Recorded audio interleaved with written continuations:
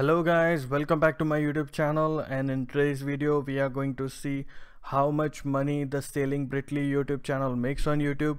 So if you don't know about this amazing couple, they do a lot of sailing related videos and gives you amazing tips. So do follow them and let's begin. So let's understand first how YouTubers can make money online there are so many methods like you know doing affiliate marketing getting brand deals selling merch and you know getting super chats from the fans. But the main method is by placing ads on their youtube videos. So the amount of money they are going to get per thousand views is decided by cpm which is known as cost per mile. And this is the amount of money that the advertisers are going to pay to youtube. And youtube is going to give some share to the youtubers. So youtube takes 45% from the total channel's earning.